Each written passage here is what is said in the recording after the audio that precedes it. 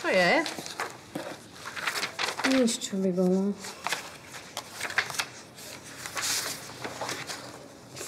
A čo z toho budete robiť?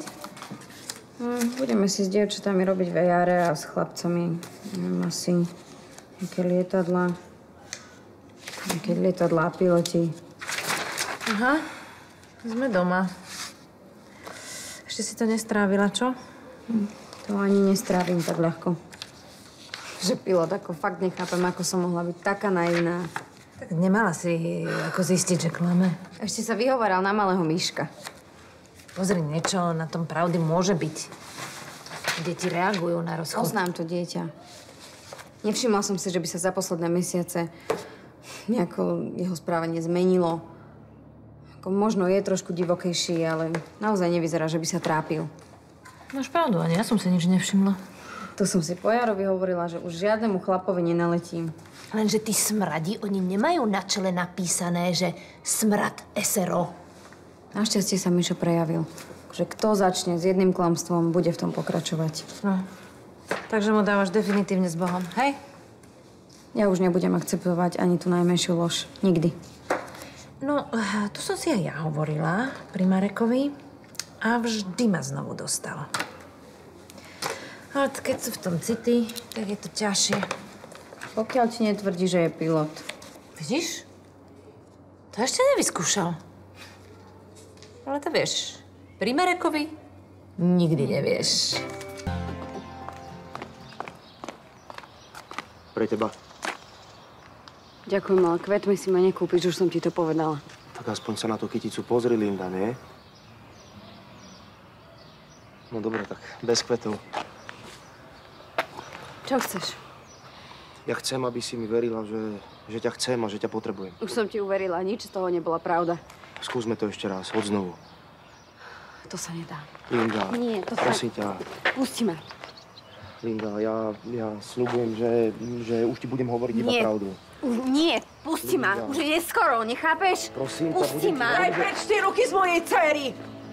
Ja len chcem, aby ma Linda vypočula, tak jej prosím dohovorte, veď na vás určite dá. Ha, no jasné, Linda. Skoč mu do náručia. Nič lepšie ťa v živote nečaká. Kopni do vrtule a stráť sa, alebo ti pomôžem. Lebo poletíš, ty pilot. Vy ste pekná bosorka. A už sa nevracaj. Moja dcera sa nepotrebuje zahádzovať s nejakým klamárom.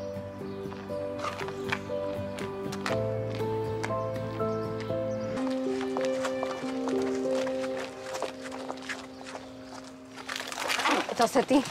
Linda, nevyhýbaj sa mi. Strašne mi chýbaš. Potrebujem... Potrebujem tvoje dotyky. Lenže ja už tie tvoje neznesiem. Ponáhľam sa. No tak, Linda, prosím ťa, toto mi nerob. Naozaj to už nemá význam. To ma chceš len tak nechať? Po tom všetkom, čo medzi nami bolo? Keď to inak nejde, Tak mi aspoň dovol, aby som ťa objal. Linda, ja som... Ja som bez teba neúplný. Ja nedokážem zaspať. Všade, kam sa pozriem, tak ťa vidím vodne, v noci. to už si musíš vyriešiť sám. Ale musíš predsa cítiť, že k sebe patríme, nie? Prestaň. Pusti ma. Au, ja tu pracujem. Páči sa mi, ako sa vieš rozohniť, Linda. Prosím ťa, pochop, že sme skončili. Ak si myslíš, že je koniec, tak si na omyle. Ja sa ťa tak ľahko nevzdám, počuješ?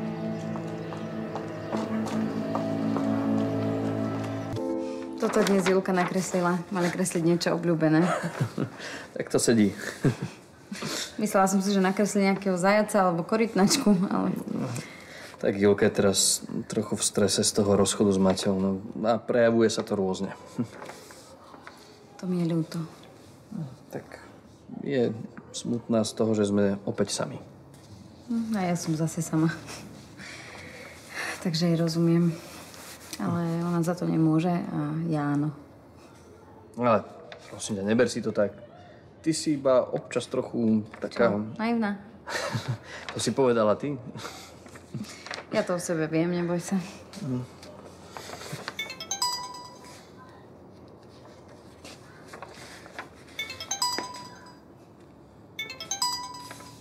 Čože, tak toto, toto je už vážne priveľa.